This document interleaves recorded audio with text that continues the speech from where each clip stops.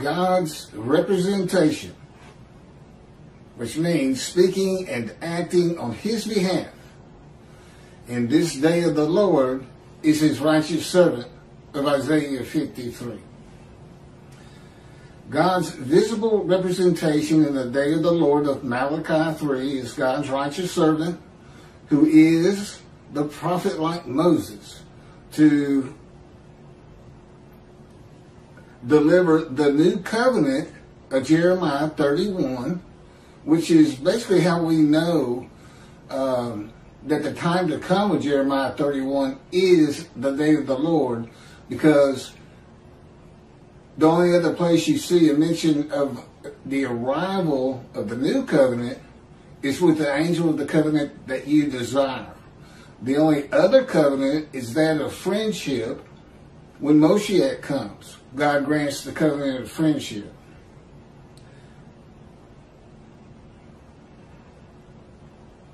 The prophet like Moses to deliver the new covenant to the Jewish people as Moses delivered the first. It's important to point out that uh, it's not new. He, God says, not like the covenant I made with your fathers out of Egypt. That's true. It's an amendment. It's a, um, there's an addition to it and a confirmation of the first covenant. Nothing ever happened to the first covenant. It's not terminated by the new covenant by any stretch, but there's an amendment, and you find it in Malachi. Verse, uh, chapter 3, verse 22, be mindful of the laws I gave Moses at Horeb of my rules, commandments, and um, it's being mindful because it was strict compliance at Horeb, Sinai and it had to be 100% of the people. Well, God makes it clear. He realizes that's no longer the case. He understands that. That's why there's a scroll of remembrance for those who revere and esteem his name and those who do not. He's recognizing that fact. Even though when he um, speaks of the new covenant in Jeremiah 31, he says, And all will heed me and Torah will be written on your heart. How's he going to do this? He tells you. Because I'm going to forgive your sins and remember your iniquities no more. Okay, he's making a new covenant. He's delivering. He's saying this is what it's going to be. But he knows as well as we know. Just because you forgive somebody a sin isn't going to isn't going to necessarily get them back to synagogue, studying Torah day and night, and um, becoming one who doesn't have to uh, ask other people's questions. But it will for a great majority of people. And he knew that. And he makes it clear in Malachi 3, which is the last page of the last of the prophets. He stopped talking to his prophets. The Hebrew Bible uh, closes up. So that, that's what that all means as far as everybody has to, it becomes be mindful. Now, each uh, uh, sect, I guess it is, of Judaism, ultra Orthodox, Orthodox, conservative, uh, Reform or Reconstructionist, uh, they're all going to have to decide what that means for them. Every, as you can imagine, everybody's going to come up with something different. What being mindful is, but as Elijah, I am the righteous servant. And I'll get to this. I actually handled the, the task of Elijah, David, and the prophet like Moses. Uh, I've already pretty much handled the prophet like Moses. I've, I've, I've written two books. As Moses wrote the Torah, God told me what to write down, commanded and directed. It's not strict dictation. I get real involved in it. He, he makes me feel like a writer. But uh, but every word is his. It's it's uh, it's divinely received, so it's scripture. It's it's not canonized, but it is new, and it straightens out a lot of things that Judaism has gotten wrong. They just flat got it wrong, and and he knew they would. There's a lot of crafty writing in there. 53 is a great example. The reason I'm crushed with disease that I'll offer myself for guilt and receive long life. The crushing with disease has got one purpose. He knew the Gentiles were going to come up with an unblemished Lamb of God under Leviticus for sin forgiveness. It's a story, but he knew they'd turn to it and they would ignore those words. They would ignore. They, they, they interpreted to be he was he, he was brought to sickness, which brought him to grief. But the problem with that is, in verse 12, he's exposed to death. So whatever this sickness is, whatever this sickness is, it exposes him to death and takes him to grief. In my case, that was cancer. So they can tiptoe around it all they want. But uh, I had to go through the cancer just because of that, because Ezekiel is your go-by for 53. A spirit seized me, and I went in the bitterness and fury of my spirit, he says, in the hand of God. Now I'm going to get to that. That's um, that's God getting you going. To, that's going to God's boot camp and uh, he doesn't have any. It doesn't bother him one bit uh, to wound you, to hurt you mightily, to to basically maltreat you. I, I call it torment. Sometimes it can be so bad, but it has changed me. Now it took 13 years, but I'm not the same person he started with by any stretch of the imagination. It takes the fury from you. You know, Moses was like that. Uh, he got so uh, furious he killed a man. Ezekiel's like that. I was like that. And that's, we call this fire refinement. And um,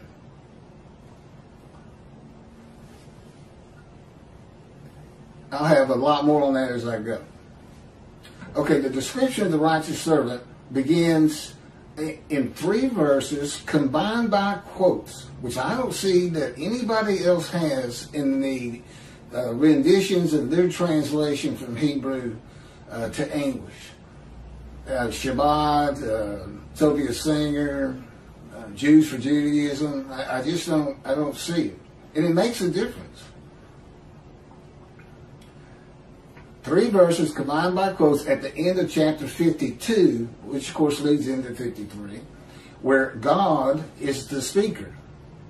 And then it becomes the witnesses in verse 1 of chapter 53 speaking in the first six verses, also combined in quotes. Okay, that's important because Isaiah 53 is a story. The righteous servant is as lowly as these people are. For the most part. That's what that's what you gather. He was born from arid land, this and that, but rises to a great tree crown. Okay? He starts lowly. Okay? Then he goes back and helps them because they're in the same place. What is it? They're unrighteous. They're sick. They're not observant Jews. They feel badly before God. They, they don't live their lives correctly. They've got all kinds of problems in the family.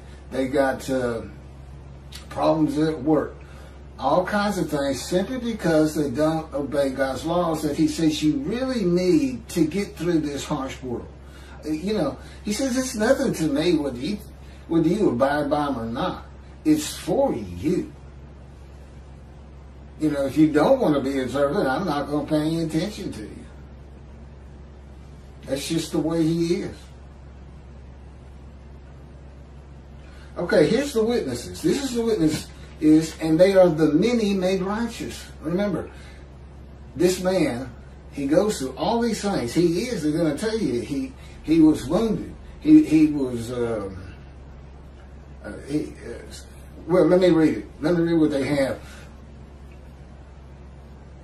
But he ends up making the many righteous, and that would include all these people, all these people who are sick from unrighteousness, and uh, and then a multitude of people. It starts out slow, which I can attest to. Okay, the witnesses who are Jews identify themselves as ones of the many made righteous by God's righteous servant, saying, It was our sickness that he was bearing, our suffering he endured. That's verse 4. He was wounded because of our sins, crushed because of our iniquities. It's verse 5. He bore the chastisement that made us whole, and by his bruises we were healed. Verse 5. And the Lord visited upon him the guilt of us all. Verse 6. And see, offering for guilt. Verse 10. That's what the offering for guilt's all about. Basically, that's that's where that's where you tell God, I'll I'll go remove their guilt by being the teacher of righteousness and makes many righteous. I'll make them righteous, their guilt is gone. And then what about all these words? Wounded, chastisement, sickness he took, this and that. That's God's boot camp. That's where he he uh, you know sleep deprivation, maltreatment. I mean, the, the stories are endless over 13 years because he's relentless, and he does not sleep, which means I don't sleep much. And uh, you know, most of the time I can't understand why he's still doing it. I feel like I'm prepared and I'm ready. Uh, the last two years have been the most terrible, brutal uh, of the 13. Every year it just escalated more and more. And his response to that is, it takes more to get out of you what I want. These emotions, all these different emotions. He says, the more I draw them out, the more I maltreat you, the more I make you angry, the more you change, whether you can see it or not. In the short term, I couldn't. I couldn't see anything changing in the first three or four years. But it started to. And today, I can look back, and he can take me back. So uh, he can put pictures in my mind and, and, and, make me feel as I, I felt in the beginning. And uh, I see a great difference, a great difference. Okay, now what I'm reading from here on my phone is from the books. So, you know, I'm kind of giving you. Uh, just the vernacular on it from my standpoint, and, but I make sure I read what he wrote because it's a, it's a lot clearer. Uh, it makes more sense. But this is what I'm getting all this is that God gave it to me. He, he taught me the Bible. He had me read it. We, we would go out on long walks. I had visions, and um, and then we we finally, after about five years, got to writing a blog and uh, all the blogs became the chapters. The book of Ezekiel is the key to understanding Isaiah 53. In the book of Ezekiel, God sees him and made him suitable for the purpose of being a prophet to the Assyria, Babylon exiles in God's fire refinement. This is from Ezekiel chapter 3, verses 7 through 9. But the house of Israel will refuse to listen to you, for they refuse to listen to me. For the whole house of Israel are brazen of forehead and stubborn of heart, that I will make your face as hard as theirs, and your forehead as brazen as theirs. I will make your forehead like adamant, harder than flint. Do not fear them, and do not be dismayed by them, though they are a rebellious breed. How's he going to do that? How's he going to make his forehead like adamant? So he's got he's got to calm his emotions, but make, make him tough as a boot at the same time. Ezekiel says, "A spirit seized me and carried me away. I went in bitterness and the fury of my spirit, while the hand of the Lord was strong upon me." As the fire found me. He's bitter and furious at God because he's hurting him. He's hurting his feelings, he's hurting his emotions, he's hurting him physically. He pins him to the ground with his with his hands bound behind his back like he had handcuffs on. He has to lay on one side all day long and all night long for 390 days. And if you think it didn't happen, I beg to differ. I, I, I tell God, that's it. And he had 40 more days for the sins and the punishment of the house of Judah, it is said. And that wasn't vicarious suffering either. It just corresponded to it. Basically, he was a he was a priestly man. It would have infuriated him that he was taking the punishment for the house of Israel and Judah. He didn't know. I, wait a minute. Wait a minute. I've been trying to get them to stop sinning my whole life. Just infuriates you. Okay, little bitty things, uh, chastisement. Ezekiel, Ezekiel says, Lord, I, he says, oh, Lord, I have not eaten the flesh of a dead animal um, since my youth. And God's response to him is, what? I give you cow dung instead of human excrement, maltreatment, and chastisement. That, you know, that, that, that, that took like one minute of a day. I mean, he can keep it going for weeks, days, weeks, and months. But uh, so that's that's what that is with Ezekiel. It's 53. Ezekiel's told he will bear the punishment for sin of the houses of Israel and Judah, and he is punished, chastised, maltreated, bruised, and crushed to make him suitable to be a prophet to the exiles and speak the words of God he is given during the ordeal in the anguish of it. Out of his anguish, that's part of Isaiah 53 too. You know, Jesus didn't come out of any anguish, he died. But that's in there. Uh, out of his anguish, uh, he will have devotion I can't remember exactly, but anyway, I think it's verse 11, out of his anguish. And that's what it's all about. And why did God write it like that? The same reason, the same reason Judaism preaches the Messianic era.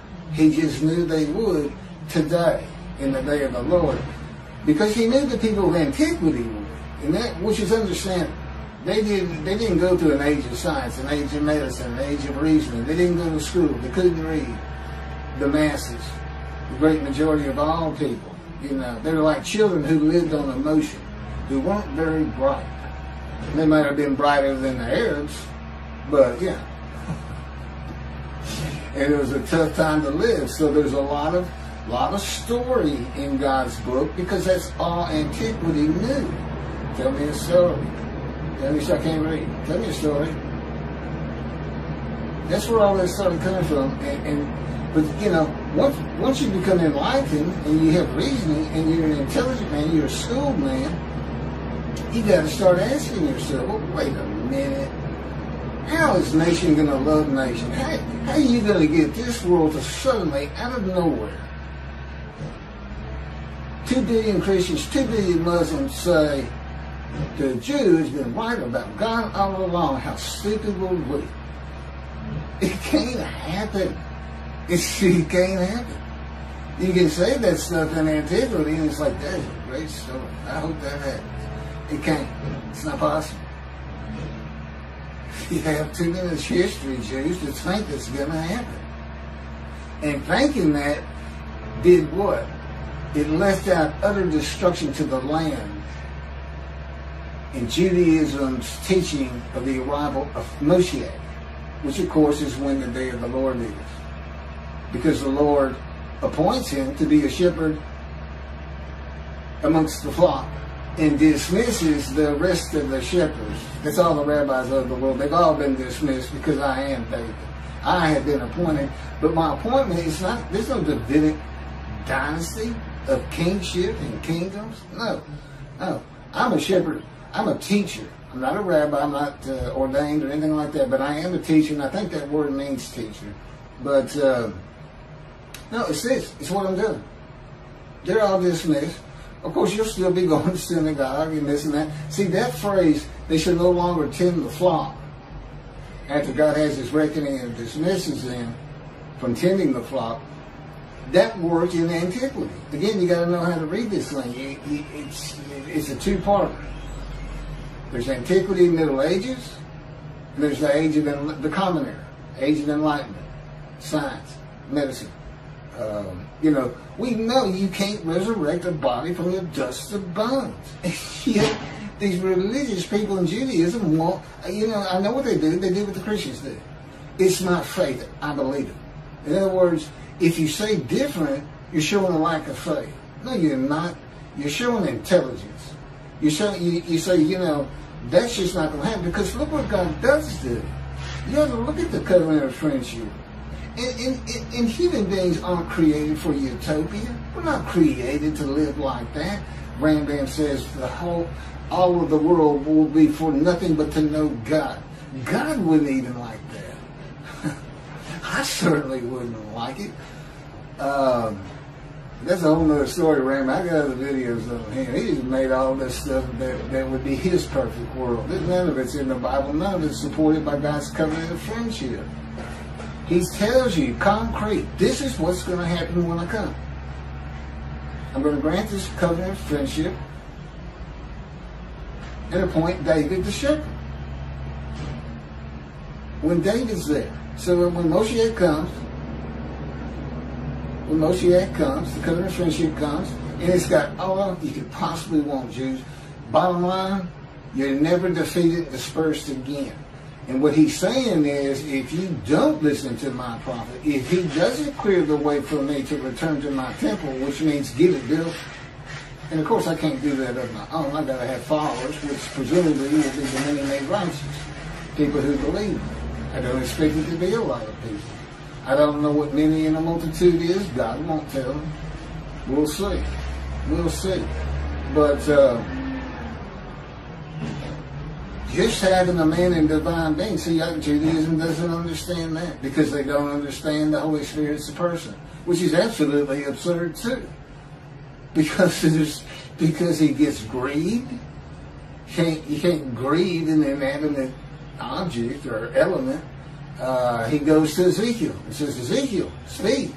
So he can talk. And then uh, to make a show of it, God, Ezekiel's in Jerusalem, God leaves, ascends, and then descends on a hill east of Jerusalem, which means the Holy and then it says the Spirit of God, who would have been left there, took Ezekiel on a vision. You got to be a person, and he is. Those are the divine beings. Those two are always together. The Holy Spirit is the angel of God's presence. And of course, where God's Spirit is, God is, just like where I am, my Spirit is. You know, uh, he's an angel, and his body is not human form with wings. His body is the Spirit of God. So he's the Holy Spirit and an angel. Um, but that's the main divine being. So when you read Isaiah 11, and the Spirit of God alights upon him, you don't know that that includes God. Because he doesn't say it. But God is in his spirit. Now, there's scripture on that. I'll leave that to some other videos that make it clear God is in his spirit. And he doesn't tell you why. This is why proofs. This is how you say, you know, I can't believe this is happening. I can't believe we had so many things wrong. But all of this makes perfect sense.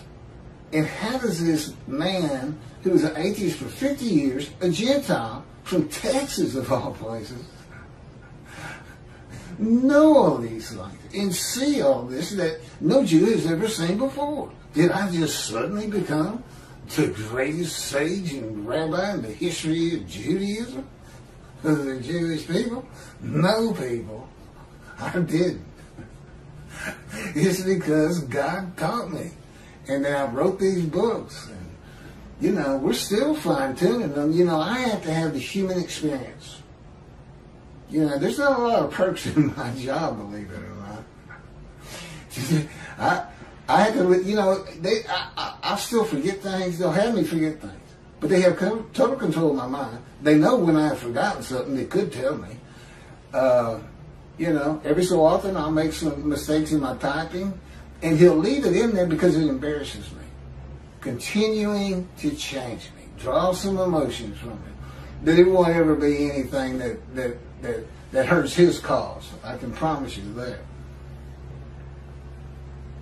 Okay, so back to Ezekiel just like the righteous servant, except he's not crushed with disease and does not make himself an offering for guilt. And I told you what that was for. That was kind of aimed at the Gentiles and uh, Christianity. The description of the righteous servant starts in 52. At the end of it, 51, God passes his wrath from the Jewish people to those who told them to get down on the ground and walked all over them. There would be those, that group of Gentiles specifically, that took your book and said you don't know how to read it.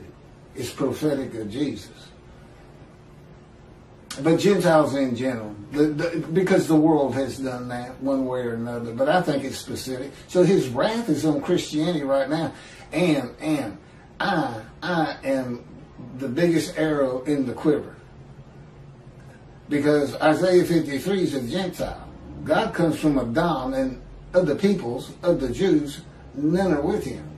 And Edom uh, is associated with Esau, uh, and all his descendants were Gentiles. He married nothing but Gentile women, the Edomites. Uh, and Edom was in Jordan, uh, and that's Gentile lands too. So basically saying I'm coming from a Gentile country, a Christian country, and I'm coming with a Gentile. There's no Jews with me. And nobody's known that. And, you know, how could a man totally fit the description of the Lord's righteous servant in Isaiah 52, 14, 13, uh, I'm just looking for the descriptive parts. This is where it all starts for 53. With his appearance marred, unlike that of man, that would be normal man. And just so marred, he shall startle many nations. In verse 52 15. There is a way. First of all, marred means to disfigure or disfigured. That's what marred means. Unlike that of other man. God says, I touched you in the womb. And took my right breast from me and withered my right arm. And I had to have some surgery up here so I could move it correctly. But it works good. It works it works just as good as the left. It just doesn't have any strength. But it's fast. Um, I mean, I throw a baseball with it.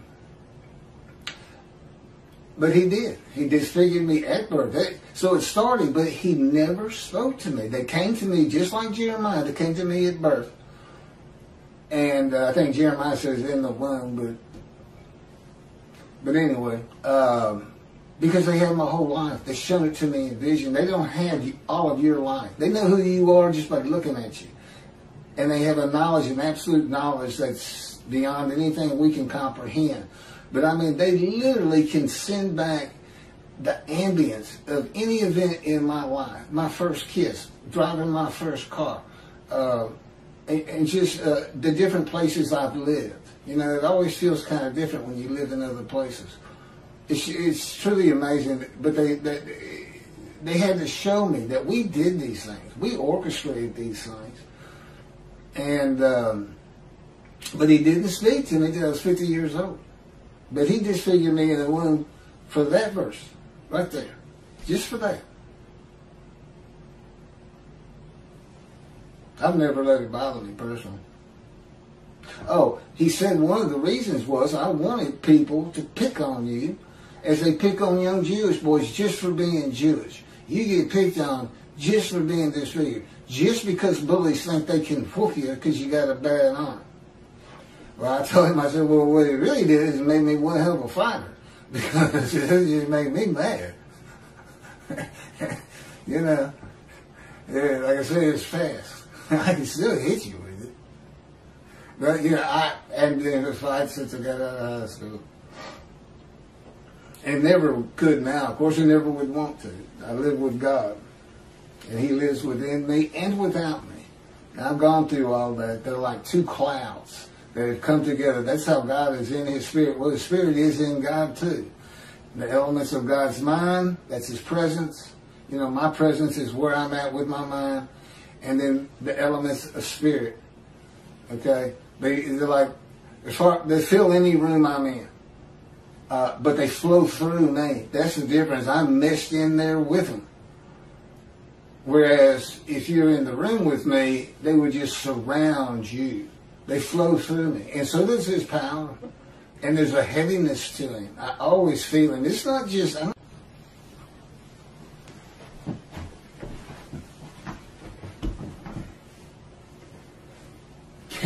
so I'll have to happen now. I'm going to try to stop talking so much. Ad libbing. I could just be reading this straight. Picking back up, if I were to be seen with all of my injuries from accidents and surgical operations at one time, before healing, together with my congenital disfigurement, my appearance and features would be marred from that of a man and people. There's a long history in the book on my life, um, beginning with my first surgery to impaling my right knee on a Coke bottle, almost losing my leg. Uh, there's a lot of story on that. Uh, being shot through the abdomen uh, when I was about 18, I think it was, um, and almost dying from that. Uh, so we got a lot of scars. In total, we I've counted up about 15 surgical scars, and about five of those come from the gunshot wound. It's just accidents. It seemed like I was in a hospital every two years getting stitched up somewhere. But um, getting my teeth knocked out by a telephone receiver.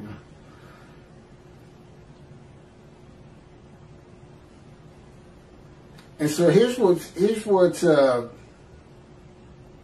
so that is how, everything I just said, is how a man can, could fit the description of the Lord's righteous servant in Isaiah 52, 14, and just so he shall startle many nations, kings shall be silenced because of him.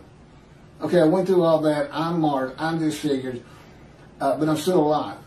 Now, you, you take Tovia Singer putting the people of Israel as the righteous servant of God in Isaiah 53, all everybody in his story dies. I don't know how they startle anybody, much less make the many righteous and a multitude. I, I don't know, you know, and, and, I get on these two, and Jews for Judaism, worse, their whole thing is based on something that's never going to happen. Uh, the Messianic era, it's, it's, it's, a, it's a farce. I, I really, really sometimes wonder if they don't really know that, especially Tovia Singer, he's very intelligent. He's got information from here to there. But his reasoning capabilities on Isaiah 53:10, because that's all I've really got, is is it's scary. It's so bad.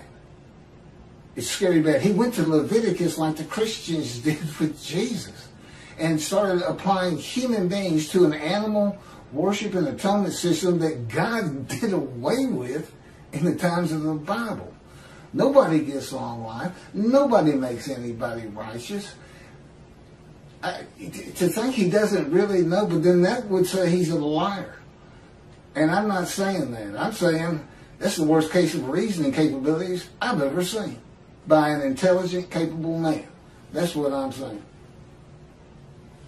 That he needs. He, Listen today, the day of the Lord, there's a new teaching here. He wasn't supposed to know everything I know. It was intentionally hidden from him in many ways. For instance, the Holy Spirit and the angel of, of his presence appears one time.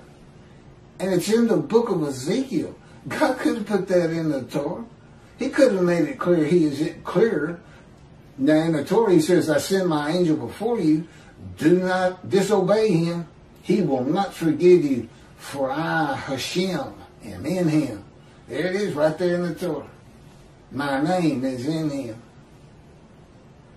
He didn't want you to pick it up. He didn't want you to understand who uh, the captain of the Lord's host is. Well, he's a harbinger of me.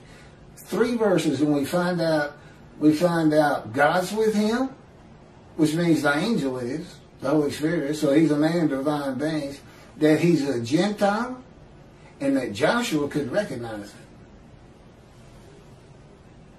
Three verses. And it's in Joshua, not in the Torah. Kings shall be silenced because of him. Isn't that funny? The big thing about Jews for Judaism is is what all the kings are saying. Oh, the Jews been right all along. They ain't never gonna say that. And they've been silenced. That's why God had that written for Isaiah. Because he knew somebody would do that. They said, believe it or not, God knows all things. He amazes me. I mean, I know you say, well, this guy's supposed to. And I agree. But it still amazes you when you when you think it through with him, because he it, it is a thinking process. But I mean, they, they, he and the Holy Spirit, they just say, we just know. And I said, you can't just know, you gotta think. He said, no, we just know. I finally whittled them down to, okay, we think so fast, it's just annoying. How about that? And we know the right answers to everything, every time. I said, okay, now I can kind of understand that. But you can't tell me, because you gotta go, okay, here or here. In Summit, you know. He said, it's true, but we make the exact right choice every time, and we do it so fast. We just call it knowing. I said, okay. There are still three men to come of the Hebrew Bible who are Moshiach, Elijah, and a prophet like Moses. Each of these great men were righteous, and all three were servants of God. One more man to come is God's righteous servant Isaiah 53 to complete to complete all the prophecies left and, and covenants to be delivered of the Hebrew Bible in the day of the Lord, which comes on the last page of the prophets, are taken care of. The only thing we don't have is these four men. Well, you have them now. These four men and the two covenants. They're all here. Having trouble getting them delivered and the message delivered, but uh, time will take care of that. So we got four righteous servants to come and a description of just one. And that means he has to be all four. If you're going to give a description of one, why, why don't you why don't you have a description of all four? I mean, how are you going to make a description for Elijah? You can't. I mean, because we all know Elijah from the Bible, and there's not much description in the Bible. David's one of the few that just said, you know, he's a very handsome man, and uh, there's just not many descriptions. The sages knew. The sages knew. Tovia Singer and and uh, Michael Skobac at Jews for Judaism. I don't know how many times I've heard him say, "Are the sages say?" Well, this is one you shouldn't have strayed from. The sages knew you had to have a description of Moshiach, and it was Isaiah 53. They called Moshiach the leper scholar. Okay, I'm the leper scholar. Why I was a leper? Well, that's really all you knew back in antiquity, leprosy. Now cancer. There's, there's the disease. Scholar, uh, I'm a lawyer. I don't practice. God had me quit practicing 13 years ago. Literally made me terminate my law licenses in Hawaii and in Texas where I was a board certified specialist in oil, gas, and mineral oil. He said, no, no, no. You never practice law again. I said, well, what am I going to do for money? He says, you're not going to have any. He thought that was so funny. the Holy Spirit even laughed. And I just shook my head. It didn't hurt my feelings or anything. I mean, God's telling you. You just kind of, okay. Huh. This is going to be a different time. The righteous servant is the descendant of David from Isaiah 11, 1 and 2, who is also the prophet like Moses to deliver the new covenant, the day of the Lord. And that's Jeremiah 31, time to come.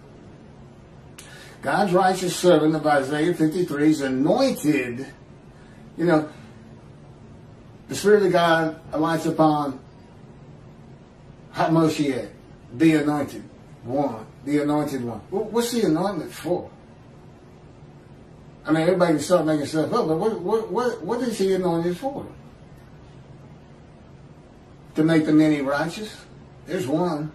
To help God with everything, all the promises in the covenant of friendship, to be Elijah, to clear the way for the Lord, uh, so that he can return to his temple suddenly.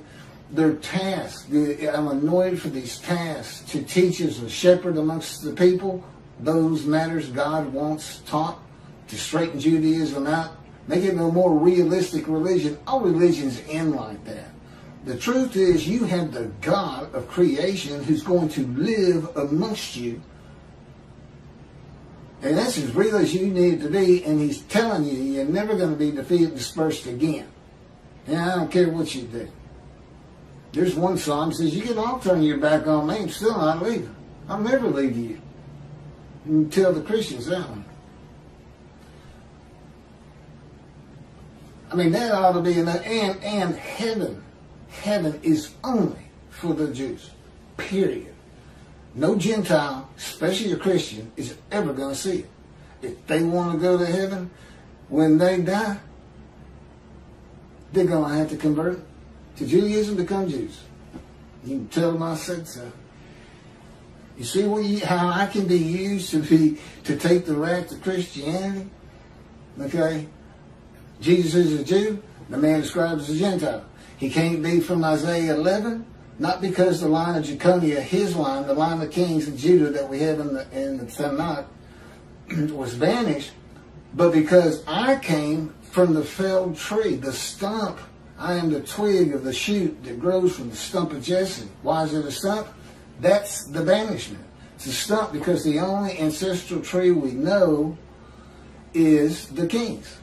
And that's the line of Jesus.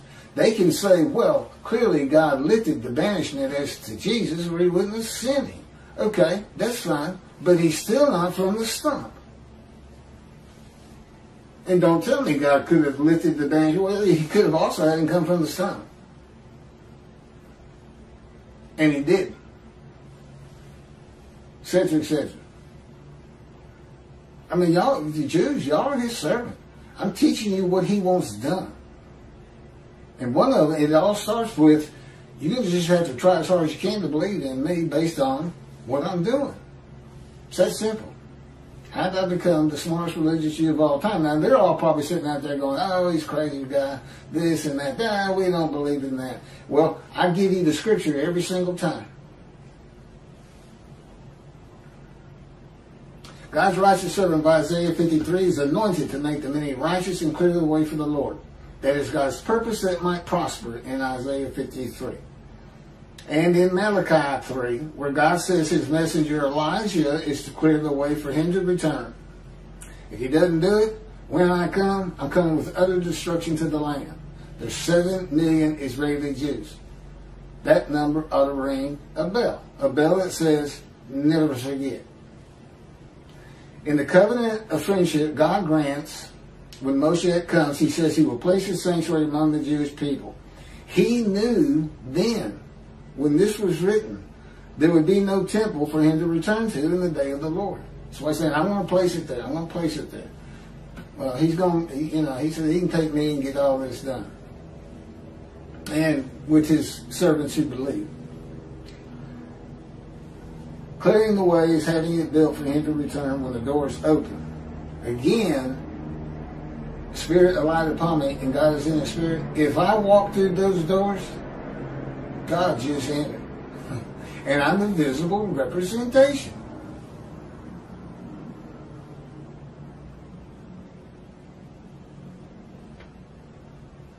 I am the only man to see the connection between Isaiah 53 and the books of Jeremiah, Ezekiel, and Malachi.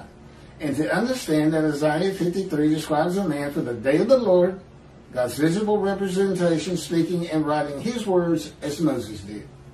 I am the only man to understand what the words wounded, punished, chastised, maltreated, bruised, and crushed are about. It is God's fire refinement in his power to prepare Moshiach to be God's righteous servant and that Ezekiel went through the same process. I am the only man to understand that the witnesses of the first six verses are sick with guilt from not following God's law and not being righteous. So the man goes through, so I went through this fire refinement for them. They keep saying he was wounded for us. It was. And from your sins, right. You're unrighteous. I'm going to come back and teach you about that. I'm going to show you God is here. He is. Remember, I was an atheist. I, I was a complete denier. You know, I needed somebody to come up to me and say, look, I can show you how this is happening. Uh, I still probably wouldn't have believed him. I think he had his vote, I don't think I'd ever believe. I certainly would have never read the Bible. For them, I just had too many bad things happen to me. I'm just one of those people who take that position. It's stupid, but you know, don't, don't tell me there's somebody watching over me. Don't tell me there's somebody who cares about me that I can't see.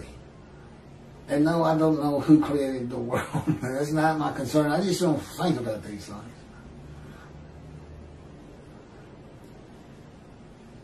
I also become the righteous servant. Here's an example. Is he was wounded for our sins. He is. But not in the sense Christians believe in some sort of human sacrifice. He is wounded by God to make him humble to God. Uh, he's really. I've had to get stitched up with him, let's put that way, and get a bone set. Because he has absolute power. He can lift my hand up and smack it down on a boulder if he wants to, and he has. And you just sit, you just stun disbelief and anger, rage, and horror because there's nothing you can do about it. Get too mad, and you might, you might find yourself in the corn patch underneath the dirt. He's, he can be scary, but fear God. But he's got a great humor. we're, we're all three laughing right now. Generally, especially if you see me look over here, the Holy Spirit, His presence appears to be up here and to my right. And that's where He would speak to me from. God, doing these videos right over here in this corner of the room. you see me look up at Him sometimes. He is wounded by God to make him humble to God and suitable for God's purpose as a prophet, to remove the fury of his spirit, to be presentable to go to those who are sinning and bring them to observant Judaism and remove their guilt. That's the story of Isaiah 53. That is why he offers his God, himself to God for guilt, emotional guilt. He will go to the fire refinement and then go help them as God's righteous servant who makes the many righteous by his knowledge with long life. The reason I am the only man to understand these things is that I am that man. You cannot put it together if you are not going through it. No one ever has. And God had it written that way.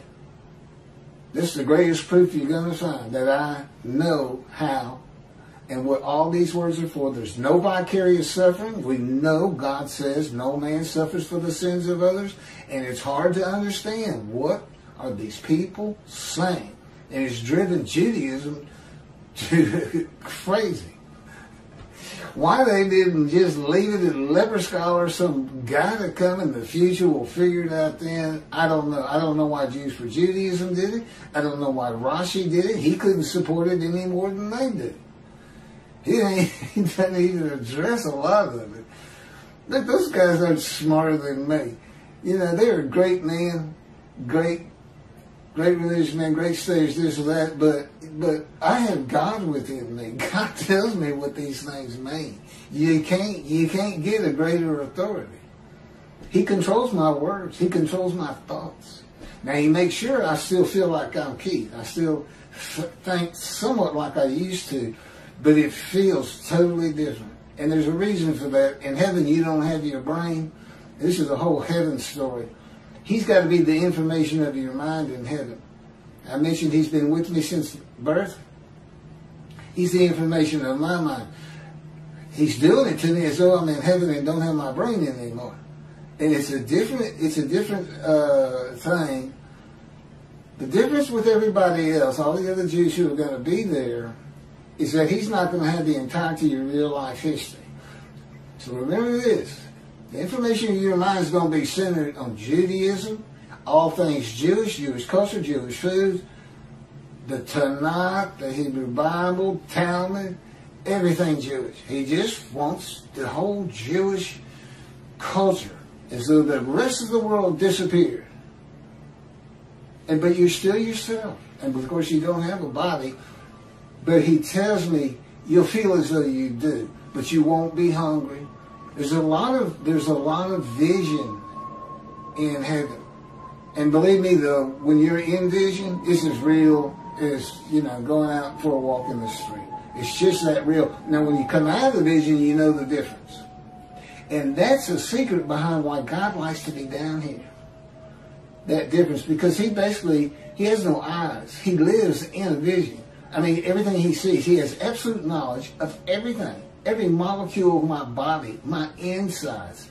He can see it all. But he visualizes it as in a vision. And, and it's very real. But when he's down here, it becomes more real for him. to really like, he wants to be down here living with the Jewish people. That he's a celestial being. And um, I know everything you, you, could ever want to know about heaven that, that the humans can understand. Okay, I am that man. You can't put it together. God had it written that way. And I am the only man who has ever lived, including Jesus, that, that's easy, that fits every verse. God orchestrated my life to be sure of it, to be a man suffering familiar with disease. Marred, disfigured, you know, all kinds of calamities coming across me during my life, coming from a dysfunctional family.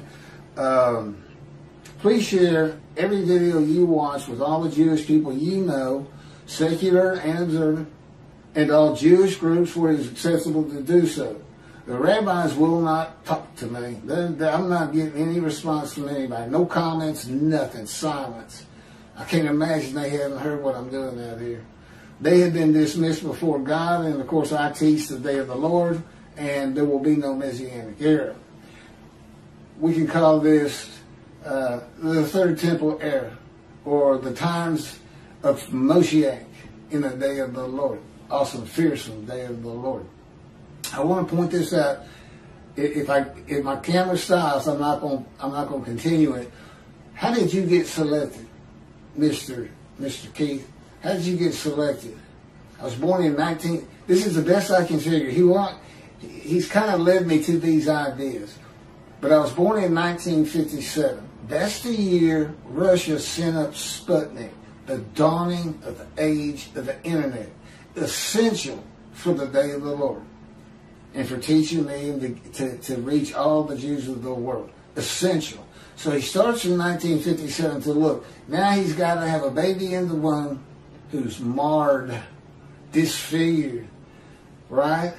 Now, see, now that's the kind of conflict I get with him. On the one hand, he tells me, I touched you with the finger of God and I marred you. Then we're over here in another story how did you select me, God? Because I'm trying to find out. I mean, I know I've got to be a descendant of David through Solomon. I know that. Somewhere I'm on a genealogical tree.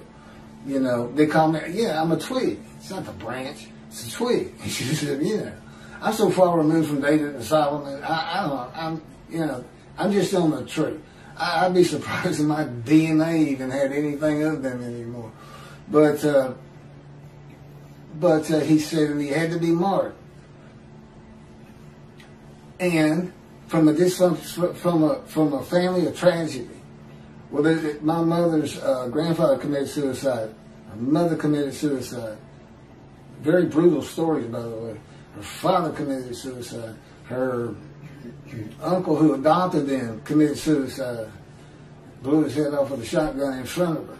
So she's never been right. I've never had the kind of stable home you would want uh, her issues and problems led to drinking and pills and everything else in the 60s and 70s and uh, severe psychiatric issues. And, um, you know, that's what he was looking for. He said, because you're going to a people who have been through everything. There's nothing. You're disfigured. People pick on you, but that's nothing. You got to understand people who, who don't have family because they all were murdered in the Holocaust. And, you know, I, have got an idea. and I've been through much myself. I've been exposed to death uh, not one time, four times. At birth, premature, uh, gunshot, colon cancer, and then lung cancer when they said, that's it. You know, it's untreatable. It's untreatable. Crushed with disease. This is Isaiah 53.10. Crushed with disease, which God takes full credit for, by the way.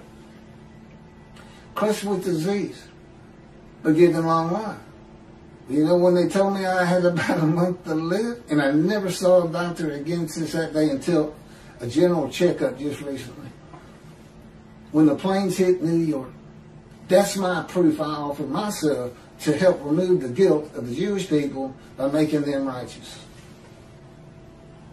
Thank you for listening. I hope that, you know, I know how hard it is to believe these things. I told you, God two years into the refinement well, I, I was quite certain who he was. As a matter of fact, you know the minute he speaks to you. He, he puts he puts the knowledge into your mind without even speaking. Um, I said, you know, God, of course, I, I know you're God. I still can't believe you exist. I just can't. I can't believe you exist. It just, but you know what? That never comes to me anymore. I believe he exists. It's, but it's still, it's, it, it, it's an awesome thing. It's beyond because the human mind can't comprehend what he can do and say and think. You just can't comprehend it. Thank you for listening. Hope everybody has a good day. Oh, be sure to, to, to, did I say that? Get the word out. We, we need everybody lift me up so we can take the wrath of God to the Christians.